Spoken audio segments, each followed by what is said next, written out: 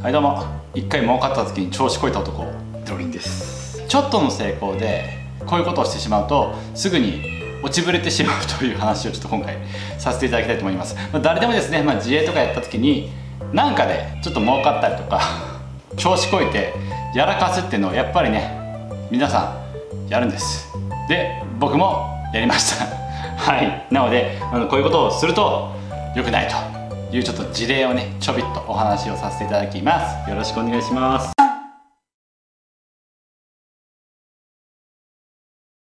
はいこれ本当にあるあるだと思うんですけどあのー、少し前までですね、まあ、ブロガーとかアフリエーターっていうのは結構バブリーで、まあ、みんな月100万超えは当たり前。2300万いってようやくまあうんまあうんかなぐらいの時代があったんですね、まあ、そんな中にいるとやっぱりみんな調子こきます。で僕も調子こきます。はい。調子こきました。はい。まあ儲かった時にちょっと調子に乗って、まあ、作業量減らしたりとか、まあ、そこで満足しちゃったりするとね、まあ、当然落ちるしかないんですよ。あのなんでかっていうとですねあの僕の場合はちょっとサボった時期があったんですけど、まあ、それでねやっぱ周り見ると化け物しかいないんで、まあ、常に何かしらやっとるんですよね。人を動かしたりして新しいことガンガンガンガン始めてて。でやっぱ数年経ってからやっぱそういう人が新しい道に進んで生き残ってるんですけどやってない人はやっぱ消えてくんですよね、うん、だ僕とか危なかったんでまあそういう人たちを見てやっぱこれなんだなっていうのをちょっと実感したんでちょっと皆さんにねシェアしようと思います。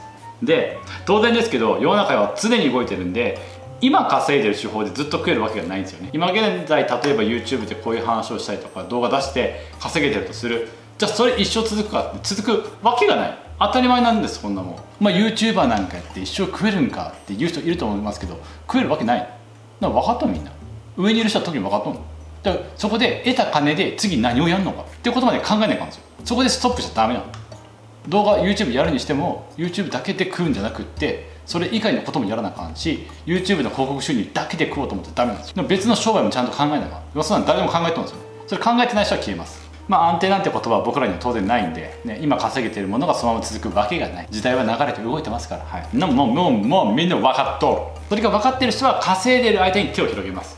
例えば外注化を使ったりとか、まあ、社員を雇ったりしてあのまず手数を増やす。で少しでも自分が動かなくても稼げるようにする、ね、お金を払って人を雇ってその人に動いてもらう。って形を作ります、はい、で自動化させるんですね。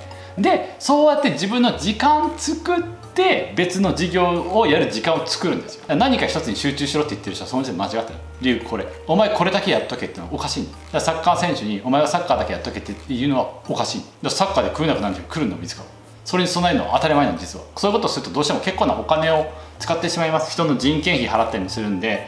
でお金使っちゃいますけどもそれは全て先行投資にしかならんしそれこそ経費なんて何の問題もないんですよ。でこれでやばい一番やばいのが飲み会とかお金を使っちゃう人。それはマジでやばい。完全な取引先の人。もしくは同業者で本当に仕事の話をしてるからみんなで会って「最近これさこうだよねやばいよね」って。で最近何で稼いでる？あ俺これで稼いでんだよねって。マジで教えてよそれ。で話をするんだったらまだ分かる。そういうのがない場合もう本当にただあの夜のお店行くだけとかの飲み会はあんまやってるとマジでやばい。そっちのお金の使い方はまずいんです。でも結構みんな間違えてそっちやっちゃう人がいるんですね。月に何百万も入ってきたりするとちょっと調子に乗るんですよ。あじゃあちょっと1か月で100万ぐらい飲みに使っても大丈夫かなみたいな。なって考えちゃったりするんでそういうのねなんかガチの友人とやっちゃったとか後輩におごったとか女の子におごるとかそういうことをやってるとよくない。でそれはだって先がないお金の使い方じゃないですか。先が続くならいいんですよそれが。僕もちょいちょいねお酒飲みに行ったりとか同業者の集まりに顔出したりとかしてたんですけどあくまで仕事の話をしたりアドバイスしてもらったりそういう刺激をもらいに行ってたんでそ仕事の刺激をもらいに行くならいいんですよ。すげえ頑張ってる子いたりとか後から出てきたのにもうすげえ勢いでズッポーンってぶち抜いていく子とか見るとはあと思ってあ俺もやんなきゃって思うんでそういうのはいいんですよ、うん、そういう場に行くのはいいんですけど僕も本当これ結構口酸っぱく友人とかに言われました。無駄な飲み会には出るだ本当に遊ぶだけなら行くな家で仕事しろって。ごもっともです。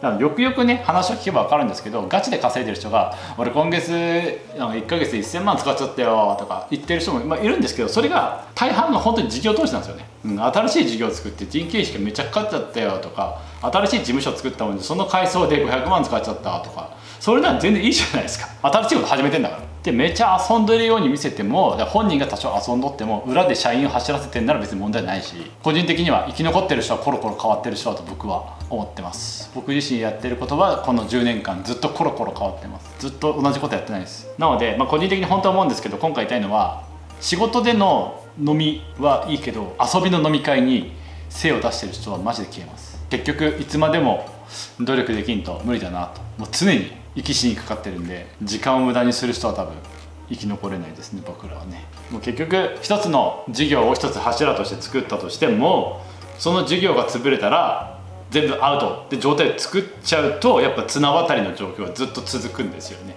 結局今僕が YouTube メインにしてますけど YouTube がこれで潰れたら俺俺終わるんで収入がなくなっちゃう。だから別のプラットフォームで何かやらなきゃいけないんです YouTube の外。YouTube がなくても食っていけるものを作っとかないといけない。こうやって儲かってるうちに作らなきゃいけないんですね。それを考えなきゃいけないんで、うん。まあ、それをやるにはやっぱ他をちょっと自動化するとか,、うん、だこの動画だったら動画の編集を全部自動化するとか。そこをちょっと考えなきゃいけないなと今思ってます、はい、そこはちょっとねさじ加減見ながら考えてます。やろうと、うん、どの授業もいつかはダメになるんですよ。何でもそうですよね。ずっと変わらないものはあっちゃいけない社会としてビジネスとして。こんだけデジタルが発達してんのにいつまでたってもファックス使うのはどうかと思うとかいつまでも印鑑使うのはどうかと思うってことと一緒でそしたらじゃあファックス作ってる会社どうすんのとか印鑑作ってる会社どうすんのってなるけどその事業をずっと保っちゃいけないと思うんですよ。やっぱ別のところにどんどん動いていかないと。新しいものを作り出していかないと。便利なもの。便利なものに移動していかないと置いていかれちゃうんで全体が。っていうのは本当に思います。そう考えると自営業やってる時点でそんな毎日飲み歩いてる時間なんか絶対ないですよね。常になんかやっていかないと。常に新しいこと始めないと。やばいんで。そこはちょっと自営業者フリーランスやろうと思ってる方特に気をつけた方がいいと思います。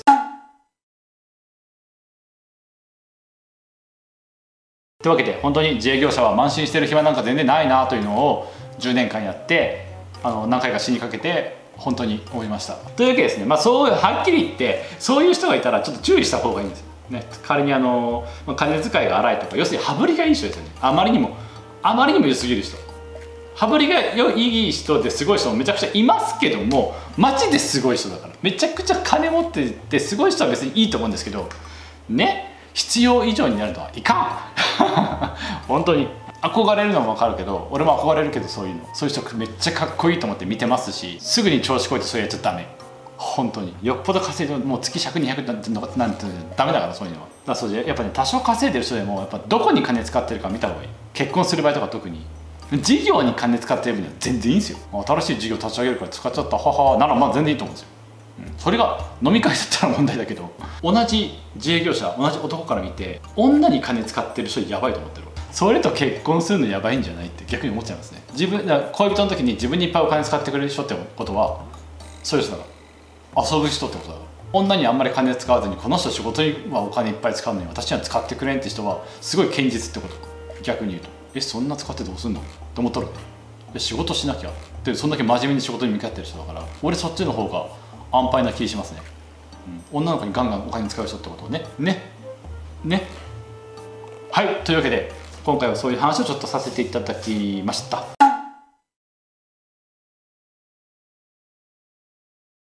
まあ、特にねちょっと頑張って儲かった人特に。気をつけてください。あんま調子こかんように。ちょっとはね道をそれた話をするとちょっと副業で儲かったからってすぐ独立するっていうのも一緒ですね。はい、はい、とても危険です。ね。最強はやっぱり本当は会社員やりながらの副業。